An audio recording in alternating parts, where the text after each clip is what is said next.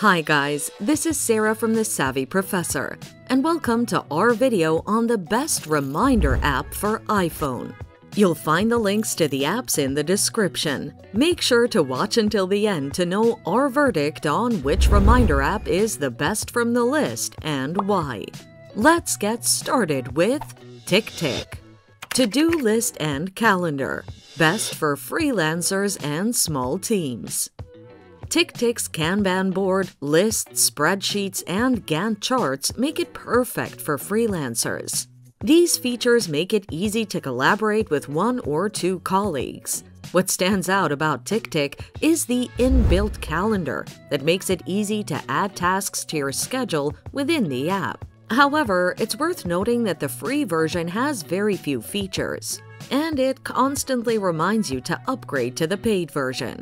Microsoft To Do Best Free Reminder App Microsoft To Do has an intuitive, lightweight design that makes personal task management a breeze. What stands out about this app is that it is entirely free, making it perfect for anyone on a budget. Moreover, Microsoft To Do integrates with all your devices and secures your data with two factor authentication.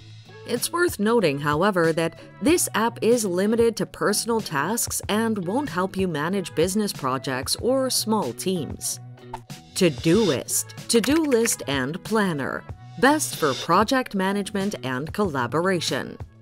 Todoist is an all-in-one list, planner, and project management tool perfect for small teams.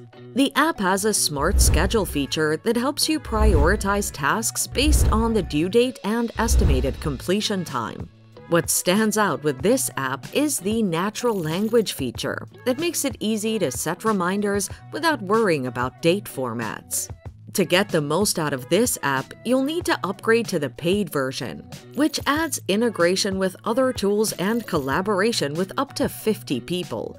It's worth noting, however, that Todoist won't work offline. So, which one is the best app from the list? Our pick is TickTick. We like that it balances personal use and small project management. Thanks for watching.